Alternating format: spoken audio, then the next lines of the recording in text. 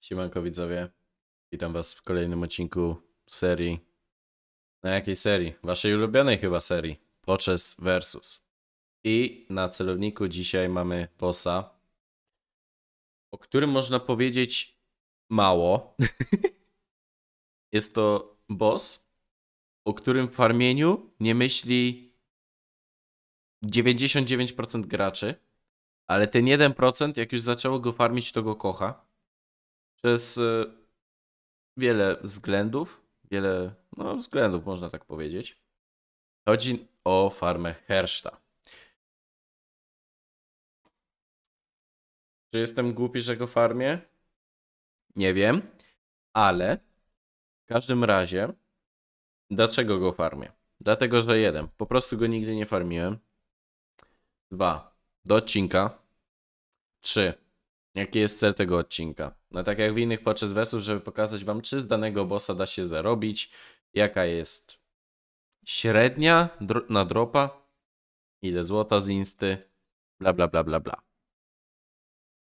I doszedłem do bardzo interesujących wniosków, z którymi wam, z którymi się z wami podzielę. Może tak, no. Oczywiście już na herszta sobie weszliśmy, ubijemy go całkiem szybko. Samego herszta ubiłem całe.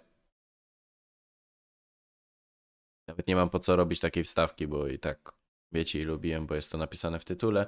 I pewnie też na miniaturce, nie wiem tego jeszcze, ale pewnie jest. W każdym razie, no widzicie, że ubiłem ich całe 500, czyli całkiem spora ilość jak na Poczes Versus. Ale przechodzimy tutaj już do pierwszego punktu Dlaczego farma Herszta mi się podoba, a mianowicie jest to szybkość. Powiedziałem dosłownie parę zdań, już jesteśmy w środku insty. Średnio instę robię w minutę 40 do 2 minut, zależy czy w międzyczasie zerkam jeszcze tako na YouTube'a czy nie.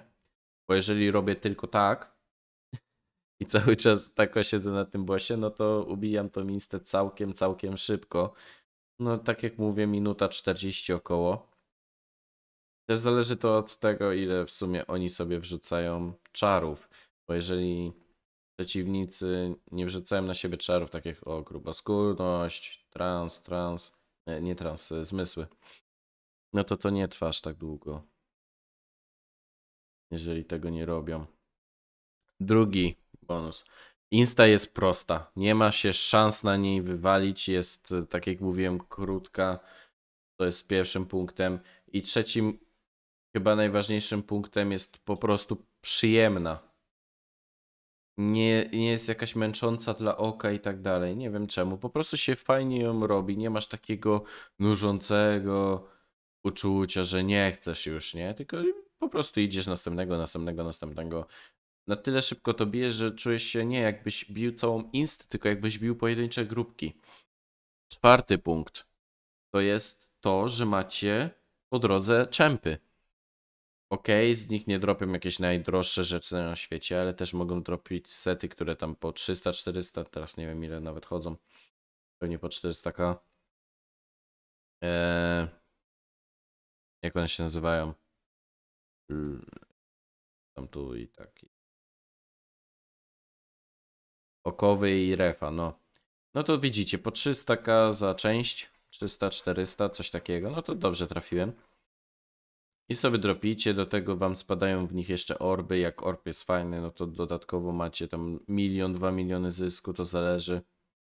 Czempy respią się tu, tam na samym dole i tutaj po lewo za mostkiem na praktycznie tym całym obszarze. Także da się tutaj jeszcze dodatkowy hajs wyciągnąć za same czempy. Za każdego czempa leci około 1000-1500 golda. Do tego za czempa macie szansę na zdobycie inhibitorów, flaszek, no i tych właśnie setów i z setami razem orbów.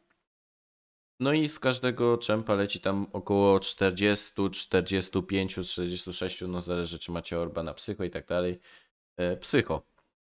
Za każdego herszta tak samo 42 psycho na dwa orby, e, na dwa drify. Także też spoko. I jeżeli macie do tego jakiś fajny beat zrobiony, no to widzicie, no ja zrobiłem jednego y, herszta. Zabrało mi 900 many. Teoretycznie gdybym zrobił jednego na iskry i cztery na deszcze, no to miałbym wystarczająco, żeby zrobić sobie her 5 hersztów bez ani jednego odpo. To myślę, że jest jak na farmę masową bossa całkiem dobrą rzeczą, nie? Także to też trzeba powiedzieć, że no nie muszę ładować EQ, żeby go robić. Wystarczyło zrobić jeden dobry reset. W sumie dwa, no bo jeszcze umki, żeby deszcz nie zabierał aż tak dużo many. A to trzeba powiedzieć, to ja zrobiłem około 8 hersztów bez ani jednego odpo, nie robiąc żadnego na iskry. I jak to zrobiłem? E, Teraz już mam deszcz trochę bardziej rozwinięty pod następną farmę, ale miałem deszcz tylko na jeden adepta, czyli 63 many na jeden deszcz. No to prosto maty matematyką możecie sobie obliczyć, że tam 6 hersztów mogłem zrobić na same deszcze, dając tylko jeden deszcz na rundę. A wcześniej to jeszcze miałem nie całkiem rozładowane EQ i było tam zużycie many minus 19%. Zużywałem chyba 51 many na deszcz, także no 8 hersztów, może 7, zależy, nie? Bo tam zawsze jakiś tam jeden deszcz nie trafił i tam wiecie, różne rzeczy dziwne. W każdym razie 7-8 hersztów bez odpo dało radę zrobić. Czy jeszcze był jakiś punkt? Chyba to tyle, nie? Po prostu przyjemna insta, łatwa, bez y, potrzeby jakby potania. Y, Macie szansę, żeby trafić czempy. Nie musicie ładować EQ. I jeszcze jakiś punkt był, ale go właśnie pominąłem, ale wcześniej o nim powiedziałem, także jest git. No i co? No trochę psycho nawet nabiłem na tym herście, bo tutaj chyba było, nie wiem, dosłownie z 1000 psycho. Jest 12 koła na dwóch trifach. Także trochę tutaj mi się tego psycho nabiło. Ale to jednak jest 500 razy 44, no to sobie możecie obliczyć ile łącznie psycho nabiłem. I to najważniejsze jeszcze zanim wam pokażę depozyt. No, trochę flaszek mi spadło, nie? Także będzie czym potać. Jak nie będę chciał zużywać tych droższych potek. Miksturki zawsze git, nie? Jakby nie straciłem nic na tym, że je mam. Zawsze jak mi się nie będą podobać, to mogę je sprzedać, ale jak dla mnie git. No i przechodzimy do depo. A w samym depo mamy. Czekaj, które to było depo teraz? To. No sami widzicie tam niecały milion golda zebrany z samego złota, które spadło na iście, plus śmieci. W sensie złoto z ich sprzedaży. Trochę synergoli mamy na pierwszej stronie i trochę na drugiej, no bo Hersh nie daje żadnego rara, który się zalicza do zbroi. Ale druga strona wygląda tak pięknie, nie? Tak kolorowo. Zobaczcie to przecież. To tak super wygląda, że można by to. Chyba nawet wrzucę to na miniaturę, nie? W sensie po prostu tą stronę. Że tak o tylko to wytnę, bo to wygląda tak przepięknie, tak kolorowo się mienią te, te, te orby wszystkie. Tu mamy Majaroty, też bardzo ładna strona. Też mógłbym w sumie wywalić te parę itemów i te Majaroty wstawić po prostu na ten. No i drify. Tutaj jak widzicie śmieci, śmieci, śmieci, band, śmieci, śmieci, śmieci, śmieci, śmieci, śmieci. W sumie Link nie jest śmieciem, Dur też nie jest śmieciem, Telt. śmieci i Dur. Tutaj jeszcze jakieś flaszki, inhibitor. Te flaszki inhibitor to są rzeczy, które mi spadły właśnie z czempów. Niestety nie spadł mi żaden set po drodze. Ale też tak dużo czempów nie ubiłem. Może wy będziecie mieli jakieś większe szczęście. No i co? Chyba już się nagadałem, jeżeli chodzi o takie suche pokazanie wam depo. Przechodzimy do tabelki. I jesteśmy już przy tabelce. Oczywiście tabelka wam dobrze znana. Jako, że tutaj nie spadają tropy, to jest wielki minus tej instancji, nie spadają na niej tropy. No to nie, nie ma ich w tabelce. Drify. Nie, drify spadają. glify nie spadają. Tu też ich nie ma. A resztę w sumie zapisałem. Tych trzech flaszek i tego jednego i chyba już nie zapisywałem. Za to zapisałem ile czempów udało mi się ubić. W jakby jednym podejściu, jednej wyprawie. Jedna wyprawa to jest ta liczba, która jest w nawiasie, a ta liczba, która jest obok nawiasu, to jest liczba z tej wyprawy i sum sumowana z liczbą ogólną. Czyli jak tutaj ma na przykład mamy 31 w nawiasie, no to 31 zrobiłem zanim poszedłem do Kowale i wróciłem na następne reszty.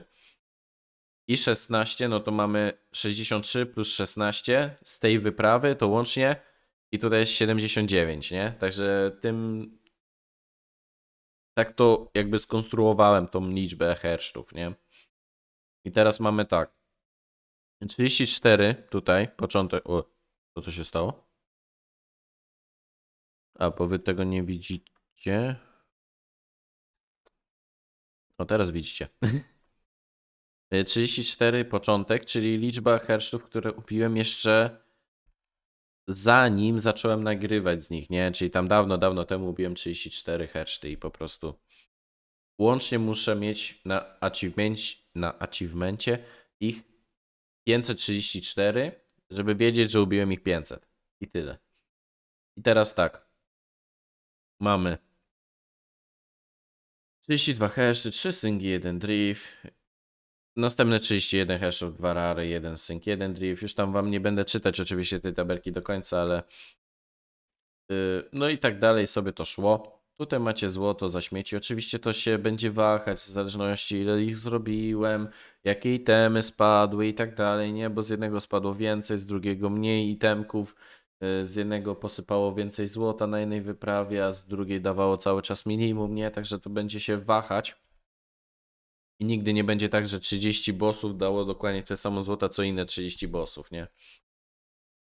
I tak sobie możemy to skipować i tutaj dochodzimy do tych nie odbieram. Y, do tych 900 920 921 tysięcy Y, złota. Tutaj mamy 21 driftów łącznie, 38 singów łącznie i 33 rarów łącznie, co daje nam 0,066 średniej na bossa, czyli 6% szansy na dropa. Nie wiem, czy pamiętacie moje inne tabelki, ale średnia szansa na dropa się waha tak 2-3%. A tutaj jest ponad 6% szansy dla mnie, gdzie ja mam minus 30% szansy na dropa. Szansy na dropa, nie? Yy, no to jeżeli ktoś ma plus 30% albo po prostu nie ma minusa, to pewnie ma gdzieś z 8% szansy na dropa. 8% szansy na dropa to jest bardzo, bardzo dużo, więc wiem już dlaczego małe levele sobie robią na przykład mośki właśnie albo łuczników i sobie na takim 25 chodzą herszta, katują go tak katują, a później, żeby nie wbić levela, żeby nie mieć minusa do dropa, sobie specjalnie padają, żeby zmniejszyć sobie level, żeby znowu go farmić i dalej mieć wielką szansę na dropa. Bo tu naprawdę można sobie bardzo szybko wyfarmić dużą ilość orbów, które później oczywiście można łączyć i zakładać na główną postać, nie? I tak samo 4% szansy dropa na drify. Całkiem sporo. I 0,8, w sensie 8% szansy na singim prawie nie wiem, czy to dużo. Nie sprawdzałem chyba na innych e, instach, jaka jest szansa, jak tak to nie. Znaczy, sprawdzałem chyba na pierwszym filmiku z Ivravula, ale już tego nie pamiętam. I możecie powiedzieć, średnia szansa na bossa, jeżeli chodzi o złoto, łącznie ze śmieciami, oczywiście, to 1842. Nie jest to dużo, ale myślę, że też można to przedstawić. No i teraz tak, schodzimy sobie dalej. Tutaj orby są obok rarów. Najpierw do orbów. To są ceny tylko i wyłącznie z targu. Ja nic do nich nie dopisywałem i tak dalej. Brałem, patrzę, HAT, najtańszy HAT 10 tysięcy, 100 tysięcy 10, ok, nie? Najtańszy PAD 130 tysięcy, ok. I tak samo, tak wszystkimi orbami dochodzimy do 11 milionów 330 tysięcy. Czy to dużo? Trochę. Jestem zadowolony w każdym razie. A jeżeli chodzi o rarki, no to trudno je było wycenić, bo jest na przykład bardzo dużo derengili, czy jakichś innych surprangów i tak dalej, które są wystawione 300-400k. I nagle są z dupy jakieś 5 derengilów za 100k na targu, tam mm, najtańsze oferty, po prostu 5 derengili, nie? I ja nie wiem za ile ja mam te wystawiać, po prostu wziąłem sobie takie mniej więcej, że jeżeli, ok, ten 1B 36% wystawię za 100, no to 2B 40% załóżmy za 150, a 3B 50% za 200. I później się starałem tą resztę jakoś tam ustawić w tej, wiecie, na tej osi jakby. No i tutaj wyszły mi jakieś właśnie ceny, chyba nic takiego większe niż tutaj jest za 250, no bo stóp rangi są ogólnie droższe niż inne. Yy, Majaroty to tutaj jakieś inne ceny wyszły holendarne i tutaj na przykład Majarot 2S 36%, no to dałem za 400k. Jednak to jest 2S, więc nie, yy, nie trudno to już yy, ulepszyć na 1G, nie? Żeby fajnie dodawał ten Majorocik stat. No i z orbów wyszło prawie 9 milionów zysku, a z samych rarów. y, Sorry, to są już drify. Z orbów wyszło 11 milionów 330 tysięcy, a z samych rarów wyszło 9 milionów 790 tysięcy. E, Jak już powiedziałem, z drifów wyszło 9 milionów. Te 9 milionów to są głównie Band i Telt. To stanowi już praktycznie 2 trzecie, a reszta no to te tańsze, jakby nie było drify. Tam po 80 koła, 80 koła, tutaj Dury za 320, Leny 140 chodzą. Y, Link za 600k był obecnie najtańszy, jak robiłem tabelkę, teraz nie wiem, ale to są ceny z targowiska. Tak tylko mówię. Y, Tutaj mamy synergole. Nie było ich dużo. Y, Łącznie tam, no właśnie, ile? 30, 38.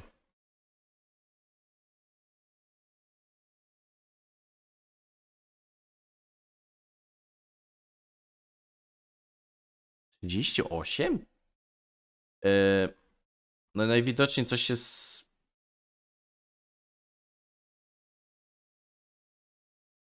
Coś się zepsuło w tabelce, albo ja nie umiem liczyć yy, w depo. No to najwidoczniej było...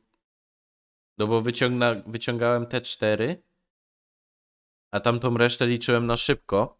To, to, to najwidoczniej nie zauważyłem dwóch linijek czy coś z synergoli, nie? Które po prostu były. No to czekaj, no to jeżeli tutaj są 4, a było 38, no to muszą tu być 34. No to razy 20, 680, ok, czyli 930k zysku z synergoli. Hmm. Ale teraz się zastanawiam, czemu to tak jest. Jak coś, to to nie było specjalnie. Dobra, to wrócimy po prostu do 28. Możliwe, że coś mi się pokićkało po prostu tutaj w tej tabelce i faktycznie tutaj było ich jakoś mniej. Ale w każdym razie no będziemy liczyć z tą mniejszą ilością, żeby później nie było, że o, masz więcej zysku, bo se tak powiedziałeś, nie? Dobra, no to łączny zarobek 27 milionów 740 tysięcy. Ile robiłem te herszty? Z 3 lub 4 dni. Tak po 100-150 dziennie. Czy uważam, że miło mi się farmiło? Tak. Czy się opłacało? Najwidoczniej tak. Czy bardziej się opłaca farmić coś innego? Myślę, że jest parę bossów, które są bardziej opłacalne, ale no nie można powiedzieć, że się na harście nie da zarobić. Myślę, że jest to dobra konkurencja dla krzyżaka takiego, gdzie główną zaletą krzyżaka nie były to, że miał droższe rary czy coś, tylko to, że można było z niego robić drogie flaszki, a teraz te flaszki to tak trochę jak już Iwra, na Iwra są potrzebne średnie flaszki, no to te flaszki z krzyża trochę straciły na wartości ogólnej. No i co? Sorry jeszcze raz za ten błąd w tabelce, nie wiem co tam się stało. Później to jeszcze raz zobaczę. Ale myślę, że mi się aż tak złego nie stało i chyba mogę to i tak tak puścić na YouTube'a. Dobra, no to co? Dziękuję wam wszystkim za oglądanie. Mam nadzieję, że materiał Wam się podobał. Zapraszam na kolejne odcinki. E, Hashtag broken w komentarzu, bo usunęli y, tego, brokena, w sensie, e, jak to się nazywa? E, Kategorię broken jako gra z YouTube'a, przez co nie mogę stawić tej gry jako broken, tylko mogę tylko wybrać tą kategorię gry, a nie mogę wybrać danej gry, bo nie ma takiej gry jak Broken Ranks według YouTube'a. Także no nie wiem co w White Moonie odwalili albo co na YouTubie odwalili, ale ewidentnie to jest atak w moje zasięgi. No, także trochę przykro. Jeszcze raz dziękuję Wam serdecznie za oglądanie. Dajcie lajka, dajcie komentarz dla zasięgów. Zostawcie suba, jak nie subujecie. Jeżeli nie gracie jeszcze w tą grę, to zarejestrujcie się. Zarejestrujcie się z mojego linku, gdyż to daje i mi bonusy, i Wy możecie mnie dodać do znajomych. Ja Wam chętnie mogę w coś z Wami pójść, ewentualnie w czymś pomóc. No i co? W sumie to by było na tyle. Trzymajcie się do następnego. Cześć.